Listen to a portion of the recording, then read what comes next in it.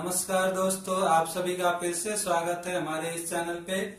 आज जैसा कि हम सभी लोग झेल रहे हैं, देख रहे हैं डी डीमोनेटाइजेशन की वजह से हमें बहुत सारी प्रॉब्लम्स झेलनी पड़ रही है। और हमारे पास लेकिन हमारे पास बहुत सारे ऑप्शंस भी हैं। जैसे अगर आपके पास कैश नहीं है तो आप बहुत सारे डिजिटल वैलेट्स यूज़ कर सकते हैं।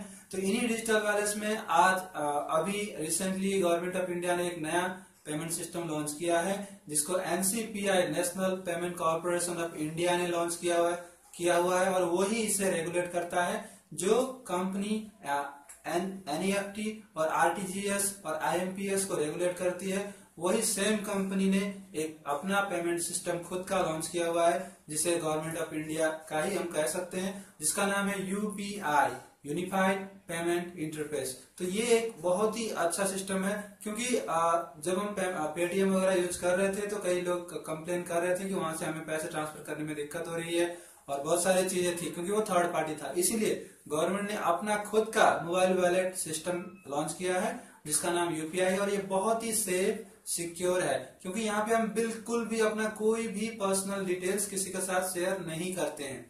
तो इस तरीके से आप बिना कुछ शेयर के वर्चुअल एड्रेस से सारा पेमेंट कर सकते हैं। तो आइए देखते हैं हम ये यूपीआई कैसे यूज़ कर सकते हैं। सबसे पहले हम गूगल प्ले स्टोर पे जाएँगे।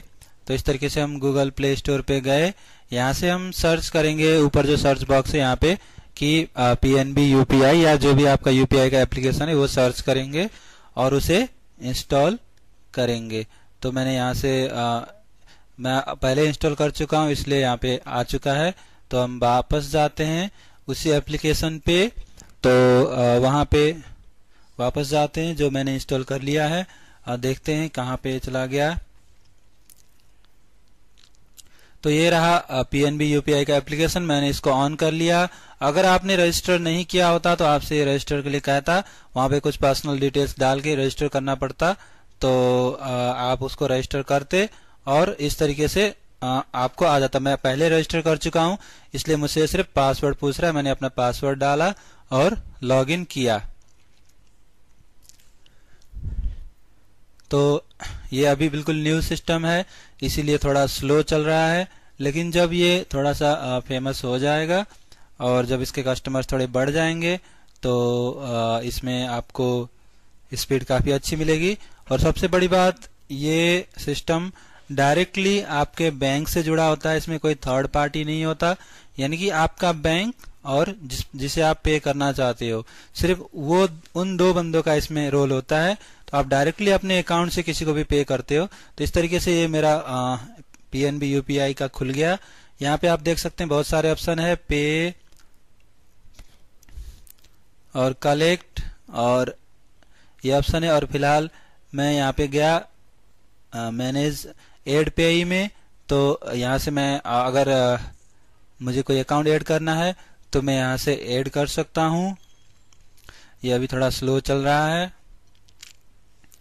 और नेट के यहाँ पे आप देख सकते हैं, मेरा अकाउंट दिखा रहा है, जो मैं पहले ऐड कर चुका हूँ। मैं इस पर क्लिक करता हूँ। तो यहाँ पे आप देख सकते हैं, जो भी सारी डिटेल्स है मेरी दिखा रहा है, ये वर्चुअल एड्रेस दिखा रहा है। और यही वर्चुअल एड्रेस होता है, जिससे हम पेमेंट लेते हैं। तो मैं इसको डिलीट कर सकता हूँ पर मैं अभी नहीं करूँगा क्योंकि ये बड़ी मुश्किल से ऐड हुआ था। मैं वापस जाता हूँ। और यहाँ से आप देख सकते हैं यहाँ पे बहुत सारे ऑप्शन है जिसमें से ये एड बैंक अकाउंट है। तो यहाँ से मैं आ, कोई बैंक अकाउंट ऐड कर सकता हूँ। मैं ऑलरेडी एक कर चुका हूँ इसलिए मुझे अब दोबारा करने की ज़रूरत नहीं है। जब आप पहली बार करेंगे तो आपको करना पड़ेगा। वापस जाते हैं। और दोबारा ट्राई करते हैं। पीएनबी का कोई देख लेते हैं। पीएनबी का एक्चुअली मैं ऐड कर चुका हूँ लेकिन दोबारा ये नहीं होगा।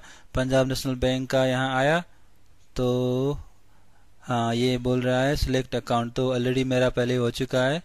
तो इसे मैं सबमिट करूँगा। तो हाँ ये एरर दिखा रहा है क्योंकि मैं ये बोल रहा है आपका मोबाइल नंबर पहले रजिस्टर हो चुका है। तो आपको एक मोबाइल नंबर की ज़रूरत पड़ेगी जिससे आपका सारा काम होगा। तो यहाँ से वापस जाते हैं। अब आप आ, कोई दूसरा अकाउंट ट्राई करते हैं, हम एस का ट्राई करते हैं, क्या पता शायद हो जाए।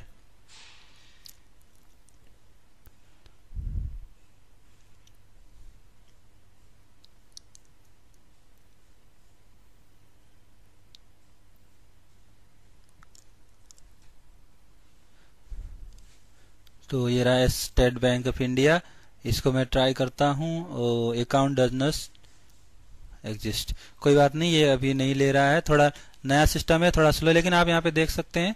इसमें सारी डिटेल्स दिखा रहा है। मेरा नाम, मेरे अकाउंट नंबर मेरा आईडी वगैरह सब कुछ दिखा रहा है। और यहाँ पे बहुत सारे ऑप्शंस हैं। ये manage account add add bank account, और और ये आपका, ये पे है। तो यहाँ से आप किसी को भी पे कर सकते हैं। यहाँ पे पेमेंट हिस्ट्री में मैं आया तो पेमेंट हिस्ट्री में देखता हूँ। मैं, मैंने कोई पेमेंट वगैरह कर रखा है तो यहाँ पे दिखा देगा। और ये बहुत ही अच्छा सिक्योर सिस्टम है, जहाँ पे आप वर्चुअल आईडी के थ्रू पे कर सकते हो। तो आपको जस्ट एक वर्चुअल आईडी की ज़रूरत होती है और उसे भी आप हमेशा चेंज करते रह सकते हो। तो बहुत ही ज़बरदस्त चीज़ है, क्योंकि इसमें आपको कुछ भी किसी के साथ शेयर नहीं करना पड़ता। ना आपको अपना अकाउंट नंबर ना मोबाइल नंबर ना कुछ भी नहीं शेयर करना पड़ता। जस्ट आपको एक वर्चुअल आईडी शेयर करना होता है, जो जिसे आप कभी भी चेंज कर सकते हो। अगर आपको लगे कि आपने ज़्यादा लोगों के साथ शेयर कर दिया तो आप उसे दोबारा से कैंसिल करके नया बना सकते हो। ये थोड़ा स्लो चल रहा है अभी, और वैसे भी सरकारी बैंक का है। तो ये थोड़ा स्लो ही चलेगा आ, लेकिन आ, शायद बाद में जब सारे पेमेंट होने लग जाएँ तो सब लोग यूज़ करने लग जाएँ तो ये सुधर जाएगा। आ, यहाँ पे बोल रहा है कि कोई भी पेंडिंग नहीं है तो आप यहाँ पे देख सकते हैं फिर से ये स्लो हो गया। यहाँ पे ये पे का ऑप्शन है यहाँ पे कलेक्ट का ऑप्शन है यहाँ पे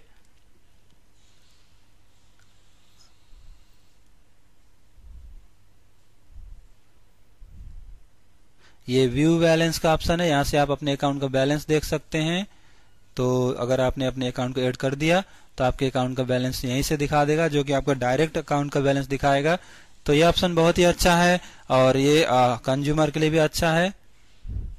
और यहाँ पे हम देखते हैं व्यू बैलेंस तो ये अपना अकाउंट दिखा रहा है किस अकाउंट का? तो यहाँ से मेरे से पिन पूछ रहा है। तो मैं यहाँ पे अपना पिन डाल दूँगा। तो ये मुझे मेरा बैलेंस दिखा देगा।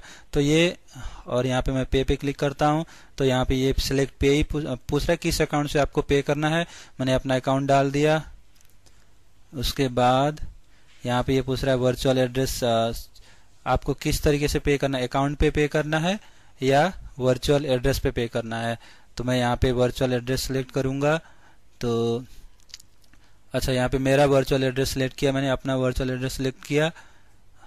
ये मेरा वर्चुअल एड्रेस है Khima at P N B जिस नाम से मैं किसी से भी पेमेंट रिसीव कर सकता हूँ और दस हज़ार तक मैं पेमेंट ले सकता हूँ।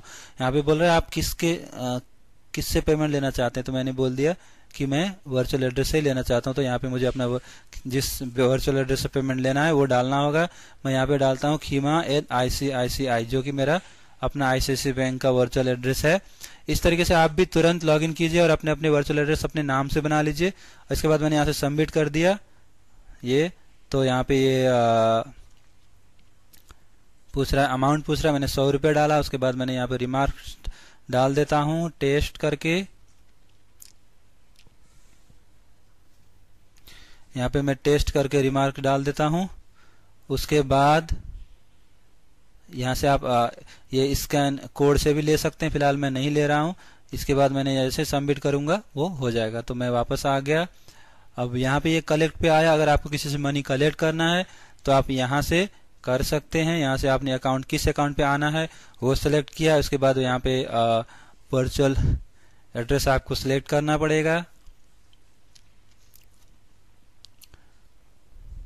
ये बोला सर्च वर्चुअल एड्रेस तो मैं यहाँ पे डालता हूँ खीमा एट ऐसे ऐसे बड़ी लेगा नहीं, इसमें शायद मुझे अपना ऐड करना होगा। या फिर हम यहाँ पे मैंने पैसे डाल दिया या फिर हम यहाँ पे स्कैन क्यूआर कोड से भी कर सकते हैं। उसके बाद ये मुझसे डेट पूछ रहा है। मैं यहाँ पे डेट चूज़ करूँगा। ये आज का ही डेट है। कब से कब तक मैंने ये आ, जब जिस डेट का पाँच बजे तक का कर दिया पाँच बजे तक के अंदर मुझे पेमेंट मिल जाना चाहिए। उसके बाद मैं यहाँ पे रिमार्क्स डाल देता हूँ। टेस्ट डाल दिया मैंने। अब यहाँ पे मैं सबमिट कर दूँगा। तो ये मेरा सबमिट हो जाएगा। और मुझे आईसीसी बैंक में जाके वहाँ से पेमेंट अप्रूव करना पड़ेगा।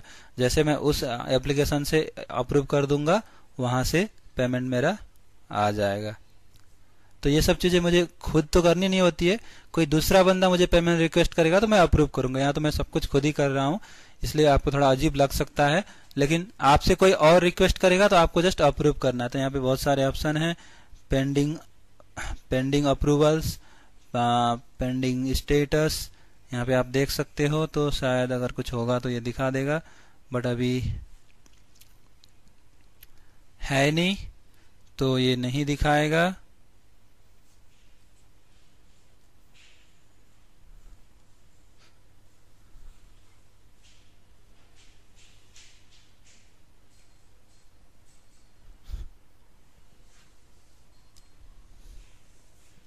थोड़ा सा यहाँ पे आप देख सकते हैं, मेरे दो पेंडिंग दिखा रहा है, जो मैंने पहले ही किए हुए थे। तो यहाँ पे सौ सौ रुपए का दो दिखा रहा है। इसको मैं जैसे अप्रूव कर दूँगा, ये हो जाएँगे।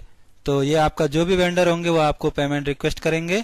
तो आपको सिर्फ़ अप्रूव करना होगा, और जैसे आप अप्रूव करोगे, उनको पेमेंट मिल जाएगा। तो इस तरीके से ये काम करता है। वेंडर जो भी दुकानदार या जो भी होंगे, वो आपसे रिक्वेस्ट करेंगे, और आप उसे अप्रूव करोगे। तो इसके अलावा यहाँ पे हम देखते हैं चेंज पिन का अच्छा यहाँ से हम लॉग आउट कर देते हैं। ये इस तरीके से हमने देखा सारा कुछ। और इस तरीके से मैं पीएनबी से लॉग आउट कर दिया। अब मैं जाता हूँ आईसीसी बैंक के यूपीआई में। वो भी हम देख लेते हैं कैसे करता है। तो यहाँ पे आपने देखा, ये आईसीसी बैंक का है। मैं यहाँ पे लॉगिन करूँगा। और आईसीसी बैंक का भी अपने आईसीसी बैंक का एक ही एप्लीकेशन में सारी चीज़ें हैं। मैं यहाँ पे अपना यूज़र आईडी डालता हूँ। और उसके बाद मैं लॉगिन करूँगा। मैंने जैसे यूज़र आईडी डाला, उसके बाद मैंने यहाँ पे नेक्स्ट पे क्लिक किया तो ये आपका, फिर आपसे ये पासवर्ड पूछेगा। तो ये आपसे पासवर्ड पूछ रहा है, आप यहाँ पे पासवर्ड डालिए। ये चूँकि आईसीसी बैंक का मोबाइल एप्लीकेशन है, जिसमें से आप सिंपली कर सकते हो। आईसीसी बैंक के एक ही एप्लीकेशन से सारे काम होते हैं। तो अगर आपके पास आईसीसी बैंक है तो आईसीसी बैंक में आप लॉगिन कीजिए पासवर्ड डाला मैंने, और मैंने ये गो पे क्लिक किया। इस तरीके से मैं आईसीसी बैंक के आई मोबाइल एप्लीकेशन पे आ गया, जो बहुत ही बढ़िया एप्लीकेशन है। सभी बैंकों में मुझे लगता है आईसीसी बैंक का सबसे अच्छा है। यहाँ पे आने के बाद देख रहे हैं आप, यहाँ पे यूपीआई का एक नया ऑप्शन आ गया है। इस यूपीआई के ऑप्शन पे आप जैसे क्लिक करोगे तो यहाँ पे मैनेज और ट्रांजेक्ट का दो ऑप्शन है। मैं ट्रांजेक्ट अगर आपको नया अकाउंट ऐड करना है तो आप मैनेज पे करोगे। यहाँ से आप क्रिएट वर्चुअल पेमेंट एड्रेस करोगे। अगर अगर आपको डिलीट करना है तो डिलीट करोगे। मैं यहाँ पे क्लिक करता हूँ क्रिएट वर्चुअल एड्रेस पे। तो अभी ये थोड़ा स्लो चल रहा है क्योंकि नया सिस्टम है और अभी बहुत ज़्यादा लोड है डिजिटल पेमेंट गेटवेज पे इसलिए ये थोड़ा स्लो चल रहा है क्योंकि अभी आ, अभी जो हमें मार्केट में कहा जा रहा है फोर्टी परसेंट फिफ्टी परसेंट का हाइक हो गया है। यहाँ तक कि कई जगह तो टू हंड्रेड परसेंट का हाइक हो गया है डेबिट कार्ड यूजेज में डिजिटल पेमेंट यूजेस में इसलिए ये दिक्कतें आ रही हैं अभी लेकिन ये धीरे धीरे ठीक हो जाएगा। तो मैं ट्रांजेक्ट पे क्लिक करता हूँ यहाँ पे भी अभी एरर दिखा रहा है लेकिन अभी कुछ देर पहले ये दिखा रहा था फिर दोबारा ट्राई करता हूँ मैं। तो मैंने यहाँ पे क्रिएट वर्चुअल पे क्लिक किया, अभी भी एरर दिखा रहा है। ट्रांजेक्ट पे फिर भी एरर दिखा रहा है। तो यूपीआई का अलग से ऑप्शन ही बना दिया इन्होंने। यहाँ पे जाके आप अभी भी नहीं हो रहा है।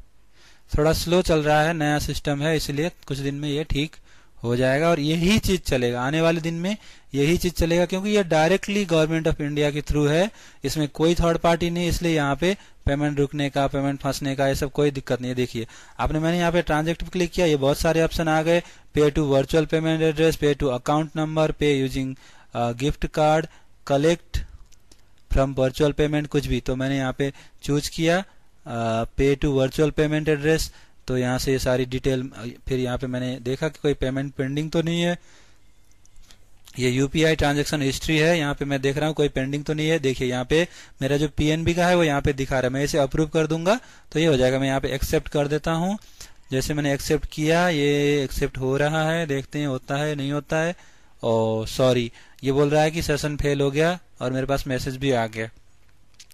क्योंकि ये नया सिस्टम है तो थोड़ी सी दिक्कतें अभी आ रही हैं। लेकिन आने वाले टाइम में यही चलेगा। क्योंकि यहाँ पे कोई थर्ड पार्टी नहीं है। डायरेक्ट आपके अकाउंट और आपके वेंडर के बीच में डील करता है। और ये बिजनेसमैन दुकानदारों के लिए भी बहुत अच्छी चीज़ है। क्योंकि यहाँ पे सीधे पेमेंट उनके खाते में चला जाता है। तो यहाँ पे देखते हैं मैनेज पे गया क्रिएट वर्चुअल पे किया। देखिए, यहाँ पे अगर आप नया क्रिएट करना चाहते हो तो क्रिएट कर सकते हो। इस तरीके से आप, यहाँ पे देखिए आपको बहुत सारे ऑप्शन दिखा रहा है ये। ऊपर मेरा अकाउंट नंबर दिखा रहा है, नीचे इस तरीके से बहुत सारे ऑप्शन दिखा रहा है। यहाँ पे आप कोई नया वर्चुअल एड्रेस क्रिएट कर सकते हो, जो बहुत ही ईजी है, या इसको आप सिलेक्ट कर सकते हो। उसके बाद, जैसे आप सिलेक्ट कर लोगे तो ये आपका वर्चुअल एड्रेस बन जाएगा। तो उसी वर्चुअल एड्रेस पे आप पेमेंट ले सकते हो। सबसे बड़ी बात, आप इस वर्चुअल एड्रेस को हर बार, जब चाहे आप चेंज कर सकते हो तो ये सबसे बड़ी बात है। जो कि हम अकाउंट नंबर तो हम रोज चेंज नहीं कर सकते तो हम इससे बाहर आते हैं। तो यही सारी चीज़ें हैं जो इसको एक खास बनाती हैं। तो इस तरीके से हमने देखा दोनों चीज़ें पीएनबी का और इसका, और सभी बैंकों का तो पॉसिबल नहीं है।